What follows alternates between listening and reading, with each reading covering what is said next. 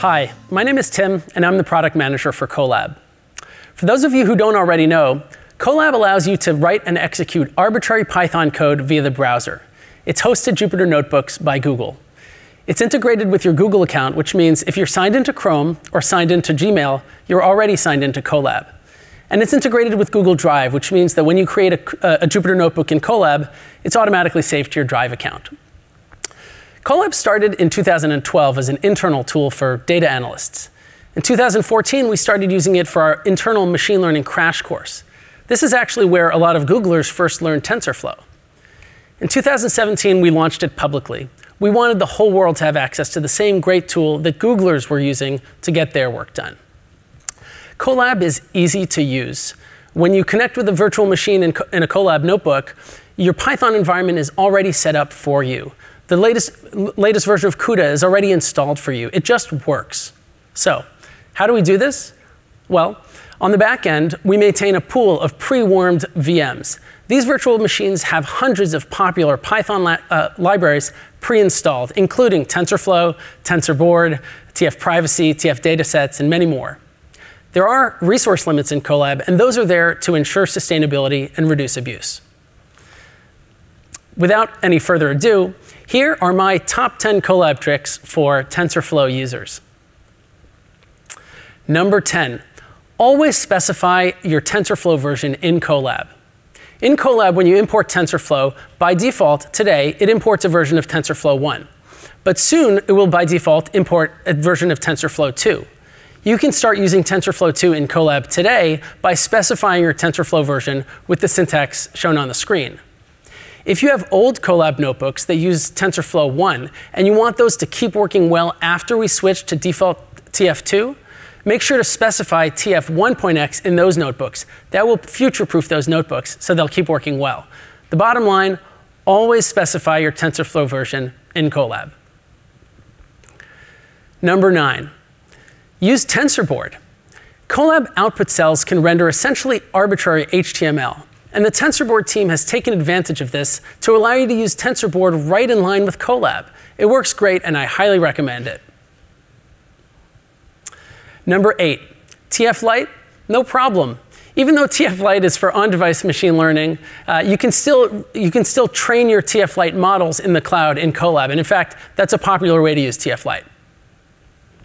Number seven, Use TPUs. It's free in Colab and very easy to do. You just go to change runtime type and select TPUs from the runtime uh, from the from the dropdown.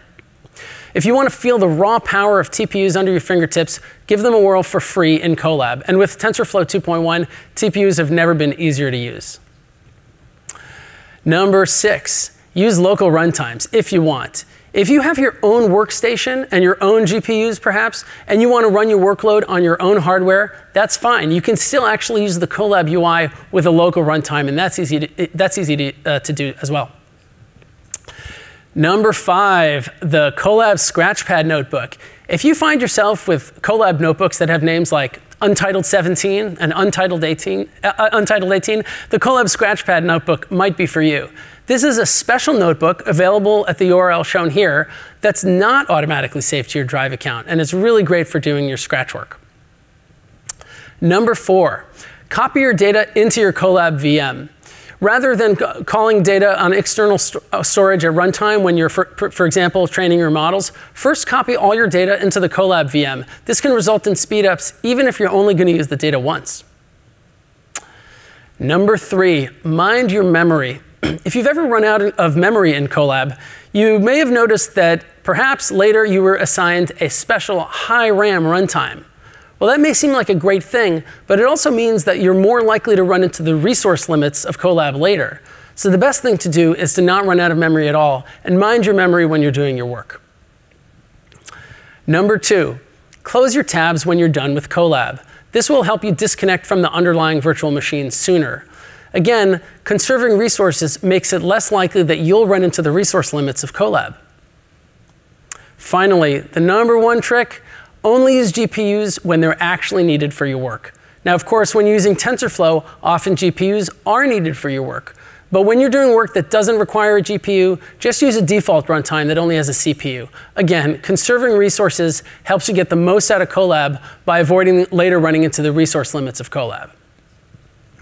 Now, we do hear from users all the time things like we want faster GPUs, we want more reliable access to P100s, we want longer runtimes, we want more lenient idle timeout periods, and we want longer maximum VM lifetimes or we want higher memory with more reliable access to high RAM runtimes. Well, we do hear you, and that's why we recently launched Colab Pro.